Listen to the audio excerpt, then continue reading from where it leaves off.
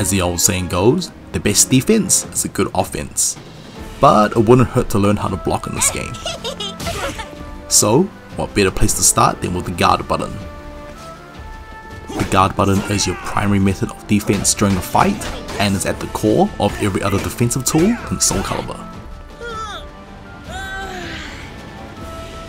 Guarding is performed by holding down the G button. Doing so will lock your character in place and they will take up a defensive stance. Simply holding down the G button will put you in a guarding state called stand guarding. While stand guarding, you will guard against all highs, mids, special lows and special mids, but you'll be vulnerable to throws, unblockable attacks, and of course low attacks. If you hold the guard button with a 2 input, this will put you into a crouching guard. While crouch guarding, you can still get hit with mid attacks, but you will be able to guard against both normal lows and special lows, as well as most special mids. As you can already guess by now, you are also crouching. That means you will avoid all high attacks and throw attempts. Minus the crouching throws. Guarding out of movement is also possible, but it is important to note that there will be a slight delay before your character can take up the guarding stance. This just means that after moving around, there will be a small window where you are still open to attacks before you can go into a guarding state. While the guard button is very powerful in this game, if all you're doing is just standing there like a stick in the mud, eventually you'll get your guard broken. This is called getting guard crushed. Mentioned briefly at the beginning of this guide, a guard crush occurs when a player runs out of guard stamina, otherwise more commonly referred to as the guard gauge. At the start of every match, your guard gauge will be set at 0%. As you begin to start guarding attacks, it will slowly put up towards 100%, resulting in a guard crush. While the guard gauge is not normally visible, you can visually tell when you're near the 70% mark when your life bar begins to flash yellow.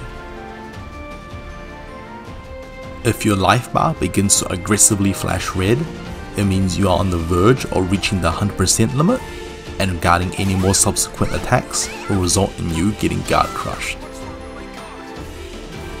The player getting guard crushed will have their guard state completely broken, opening them up to any follow-up attacks. Now, unlike your life bar, you can recover stamina for your guard gauge through various methods in the match. The best way is to not use the guard button for a little while and instead rely on movement to avoid attacks. While being a little risky, this will allow your guard gauge to naturally recover at its own pace. If you're after a more aggressive method, simply moving forward and beginning a run animation will also help recover your guard gauge. Running forward does leave you open to attacks, but this is by far the fastest method. Regardless of the winner in the previous round, your guard gauge will also recover by a small amount before the next round starts. The last method is a little more character specific. Some characters can recover some of their guard gauge by landing certain attacks, or by performing their critical edge. It is important to note that once a guard crush has occurred, the player that got crushed will automatically have their guard gauge reset back to 0%. While every attack can affect the guard gauge once blocked, not every attack can initiate a guard crush. Usually quick or low damaging attacks like 5As or 2As will not cause a guard crush, but slower or high damaging attacks like 3Bs and A plus Bs will. Guarding is an absolute must in Soul Calibur. A lot of attacks do high amounts of damage, so if you're not guarding, um, well, let's just say you're not in for a good time.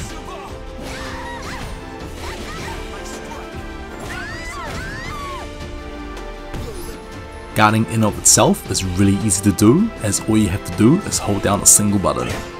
As we discuss more about the other defensive techniques, you will start to see how everything will always revolve around the guard button. One of the defining features in the Soul Calibur series is the guard impact mechanic. Often shortened to GI for short, it is a defensive maneuver that can deflect your opponent's incoming attacks. Guard impacts are performed with 6 plus G, and when done correctly, a green spark will burst out as your character raises their weapon. If you input the command just as an opponent's attack is about to land, it will trigger a successful guard impact. This will knock your opponent back, rendering them momentarily defenseless, and also recover a bit of your guard gauge.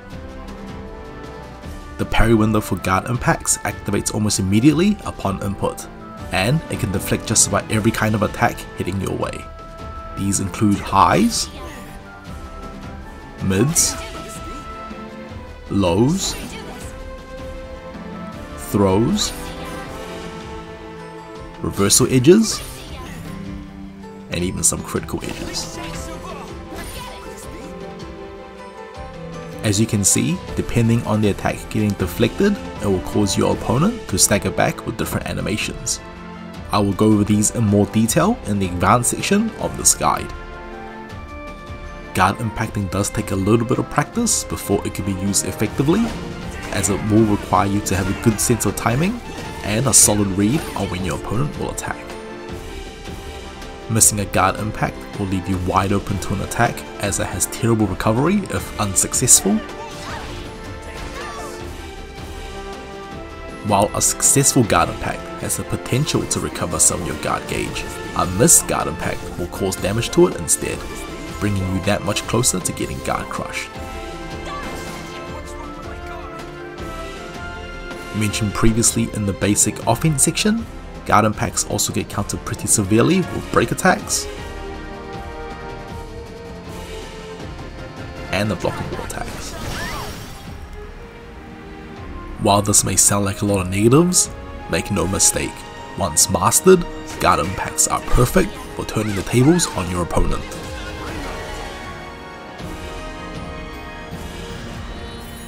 Sometimes all you need to do is to land that one miracle GI under pressure to shift the momentum back into your favor. A well-timed guard impact can easily stop your opponent's attack sequences and oftentimes open them up to a full combo. As you begin to explore the different characters, you'll notice some of their moves will have the green GI spark to them. These attacks are called auto GIs, and as the name implies, they will have a small window where they will act as a guard impact before the attack animation comes out. Unlike a normal guard impact, regardless if the auto GI misses or hits, it will not affect your guard gauge in any way. But as a trade-off, most auto GIs can only deflect a specific type of attack. Auto GI attacks are all character specific so details on what these attacks can deflect are all listed in their respective move lists. A new mechanic introduced in Season 2 is the Resist Impact, the big brother to guard impacts. Performed with 6B plus G, a Resist Impact or RI for short shares the same animations as a normal guard impact, but instead of a green spark, now there is an orange one. Whereas the guard gauge recovery on a successful guard impact is barely noticeable, a resist impact recovers a massive 10 to 15%. And, as an added bonus, a missed resist impact will not suffer the damage penalty to your guard gauge. But what truly sets the resist impact apart is its ability to not only deflect both break attacks and unblockables, it can even stop the pushback from a soul charge. While Resist Impacts covers everything a normal guard impact can do, and more, it also shares most of its weaknesses as well. A missed resist impact won't damage your guard gauge, but it now has a much bigger cost, requiring half of one soul gauge stock to perform. If you are in the soul charge state, it will instead drain your soul charge timer to perform. Resist impacts just like its counterpart, recovers terribly on a whiff,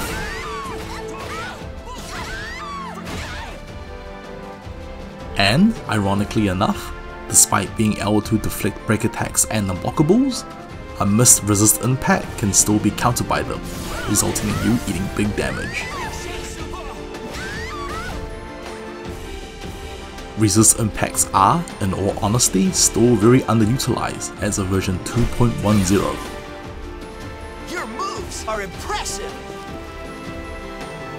Despite these beefed up properties, like stopping unblockables and break attacks, if a resist impact were to deflect a normal attack, it will still give the same reward as a regular GI.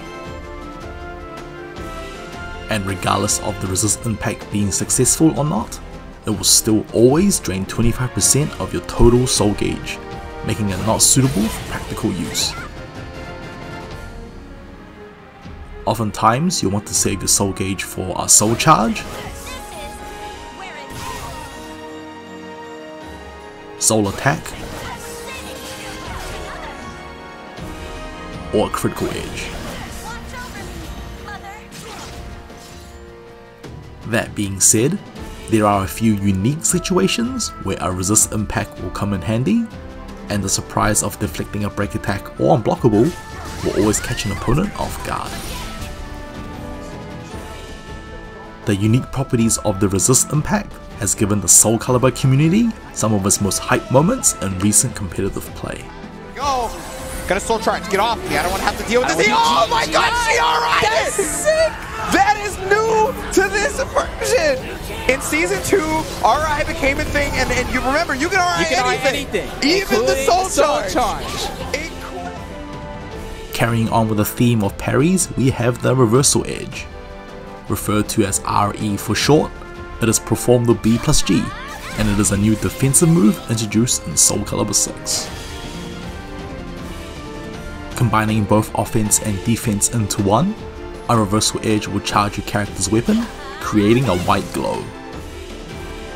During this charge, you will be able to deflect all incoming attacks, throw attempts, before unleashing an attack of your own. At a quick glance, reversal edges and guard impacts have quite a few overlapping qualities, but as always, there are a few key differences that separates the two, giving them their unique uses. Unlike a guard impact, where it can only deflect one attack on input, the time frame for deflecting attacks in a reversal edge varies greatly and is much more lenient. You will have full control of the parry window. When the attack at the end of the charge hits, it will initiate a slowdown, and then both players will enter a cinematic clash. During this period, players can input an attack or movement direction to determine the victor of the clash. The inputs available are A. Horizontals, B. Verticals, K kicks, forwards, backwards or side movement, lastly the block button. It is at this point that reversal edges can get a little complicated for newcomers, as there are now multiple outcomes and situations. But I will do my best to explain each one as thoroughly as possible.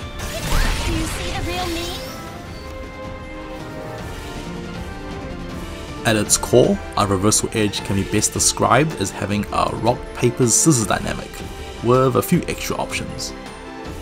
A beats K, K beats B, and B beats A.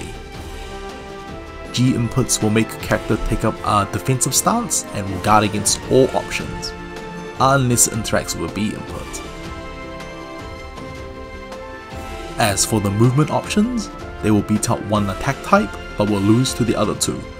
On paper, this makes them more riskier to use, but the reward for winning a clash with them is arguably better. The forward movement 6 will avoid all A's. The side movements 2 or 8 will avoid all B's. And the back movement 4 will avoid all Ks. If you manage to dodge an attack, it will leave your opponent's defenses wide open. If a movement input clashes with a guard or another movement, then no interaction will happen and the reversal clash will automatically end. Now if both players happen to tie with the same attack, or a G input clashes with a B input, then the reversal edge will enter a round 2 stage. Round 2 of the clash is when things start to get interesting. The reward for winning a clash now heavily skews towards the initiating player, and all of their attack options will now result in a combo starting lethal hit.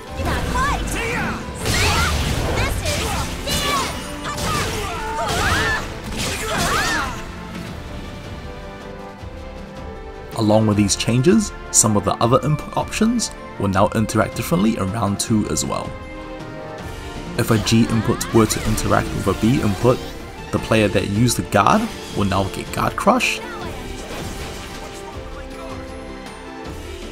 And if two G inputs were to clash, then the initiator of the reversal edge will now perform a guard impact. Should another tie were to occur in round 2, then the initiator of the reversal edge will automatically win. Do note that all movement options will still interact the same as they did during round 1 of the clash.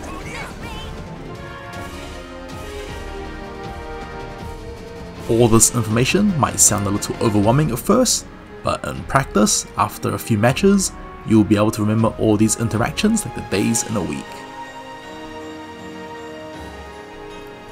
So far, reversal edges sound like the far superior option over guard impacts, but underneath the fancy clash cinematics, there lies more than a few weaknesses. Over-reliance will lead to an early guard crush, as just the act of initiating a reversal edge will instantly deal 20% minimum to your guard gauge, with the charged up version dealing even more. while a fully charged up reversal edge cannot be stopped with a defensive impact. It is still slow, and except for a few specific characters, if you were to miss, there is no way to cancel out of the charge, making you an easy target.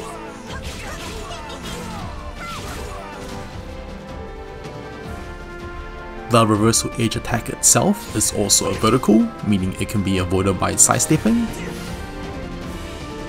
And unless fully charged, it can be stopped by guard impacts, auto GI attacks, or another reversal edge. And just to rub salt into the wound, just like the other defensive options, a reversal edge will also lose to both break attacks and unblockables. So, after hearing all of this, why on earth would you still want to use a reversal edge? Well, to put it simply, a well-timed reversal edge helps takes the guesswork out of guarding.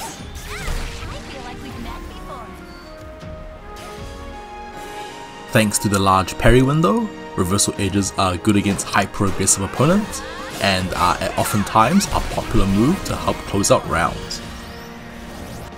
The fact that you can control the parry window will make punishing or avoiding a reversal edge very fiddly and unintuitive.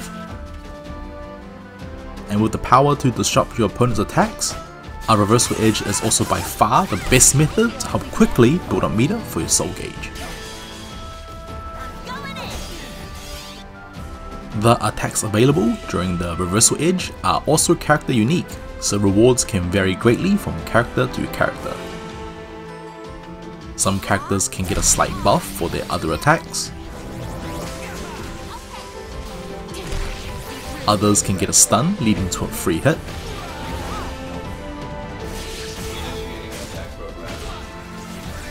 And a few can even just straight up win you the round.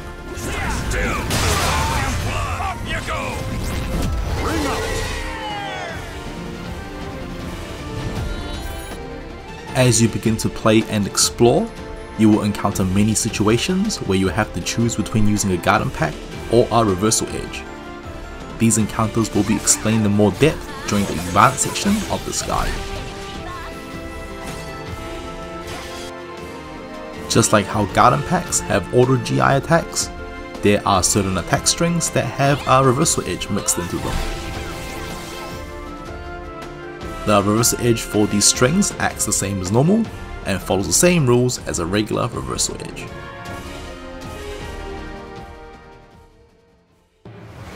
Warrior spirits are forged below the never-ending skies.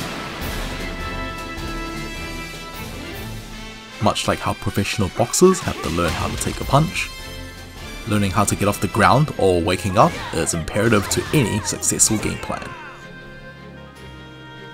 Arguably just as important as guarding, these wake up options are universal to every character in Soul Calibur, and knowing when to use the correct option will allow you to both recover safely and avoid any unnecessary damage. The wake up options available to you are a neutral rise, using an Ukemi or Tech Roll, rolling towards or away from your opponent, and attacking. Before diving into the details of each one, recognizing the different knockdown situations where you have to get off the ground will help you in choosing your wake up option. The most common situation is getting hit by a knockdown attack while you are on the ground or in the air. If you're knocked down this way, you will have access to all your wake up options. Getting thrown or hit by an attack with stun properties will also knock you to the ground. Do note that most of the time, you can still have access to all your wake up options, but there are still some throws or attacks that will disable your ability to tech roll. Getting launched is another common situation where you get hit by an attack that sends you flying into the air. You cannot tech roll after getting launched, unless your opponent hits you with an attack that spikes you to the ground. The last situation is when you are already on the ground and you happen to get hit again. This will reset all of your wake up options. What this means is that you will be able to Ukemi or Tech Roll, even if you are put into a situation where it was disabled beforehand. Now, for your wake up options. Uh, neutral Rise is usually the safest way to getting up in Soul Calibur, it is performed by tapping or holding the G button while grounded or when you're getting hit by your opponent. Doing so will make your character get up as soon as possible into a standing guard. You can also use 2 plus G instead to recover into a crouching guard. Unlike the other wake up options on the list, there is no way to change your wake up timing with a neutral rise. This means that it will make it much easier for your opponent to force you into a mix up situation as you are getting up off the ground. A neutral rise also forces you to get up where you landed. While this can be good for some situations, it will not prevent you from getting hit by some follow-up attacks that could have been avoided by a tech roll. Tech rolling or ukemi, by its core definition, is the act of quickly getting back on your feet with a side roll. It is performed with any direction plus the G button, and can only be used when you're about to make contact with the ground. You will know when you've performed an Ukemi successfully when you see a white shockwave around your character as they are getting up.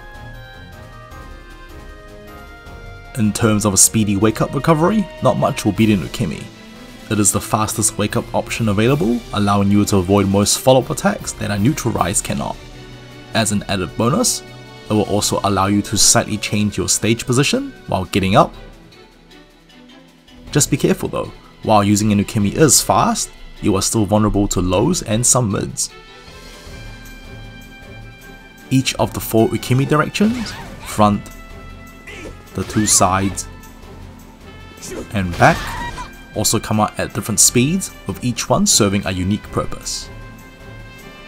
The front Ukemi, 6 plus G as you are landing, has the fastest Ukemi speed, allowing you to act almost instantly at the cost of you recovering very close to your opponent. The side ukemis, with 2 plus G for the foreground and 8 plus G for the background as you are landing, recover slower than a front ukemi, but is usually the most used ukemi direction. The side ukemis are generally a good option to use, as it allows you to avoid most linear follow-up attacks while still recovering at a fairly safe distance from your opponent. However, side ukemis are usually much more vulnerable to tech traps than the other two ukemi directions. Common examples include getting relaunched by an opponent, or getting grabbed while you're waking up.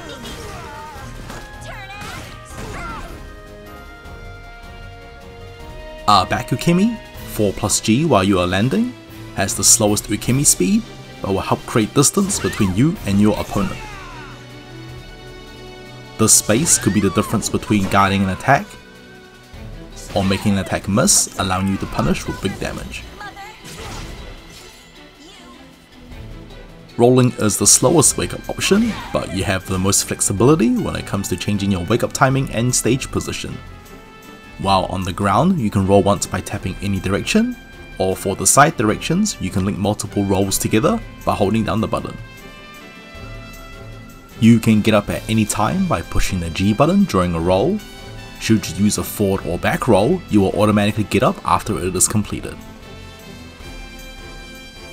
Along with the benefits of changing your position and wake up timing, rolling will also force your opponent to use really specific attacks to hit you while you're grounded.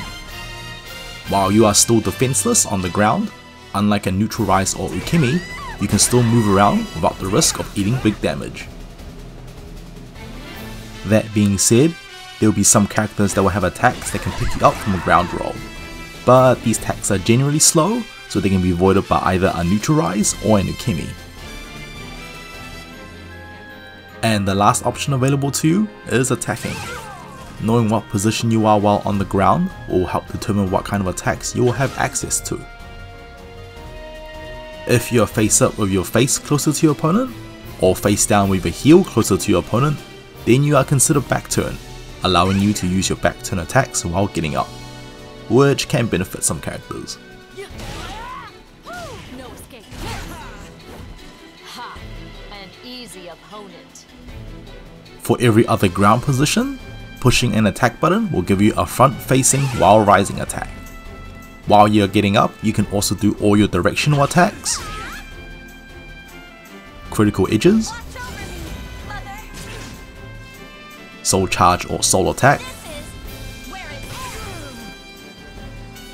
throws, and all your other defensive impacts and reversal edges.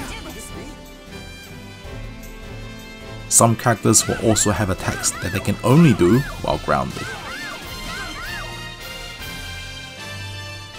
Now, just because you have been launched into the air does not mean that you are entirely helpless. Unique to this series is a system called air control, where you can manipulate the direction your character will land while they are still in the air.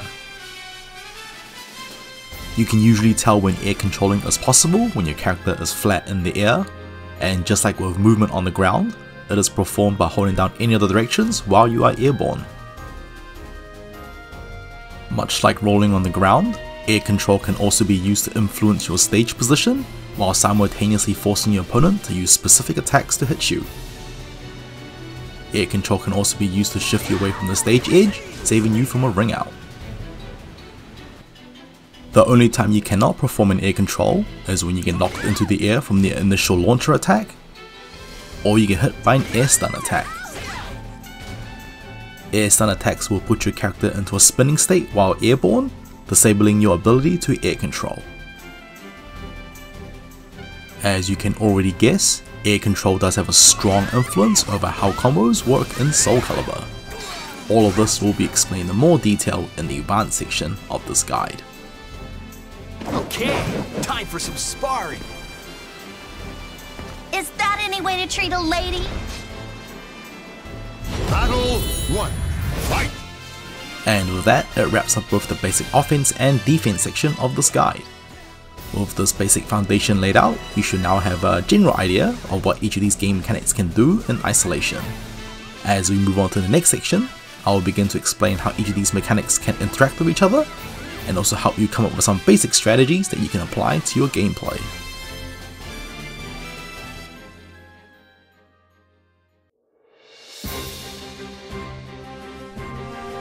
Hey guys, thanks for watching. This was just one of the many segments in my full Soul Calibur tutorial that covers everything from the bare basics to learning how to play with confidence. If you're interested in the rest, I highly recommend you check them out on their YouTube channel. Until then, thanks again for watching, and I'll see you in the next one.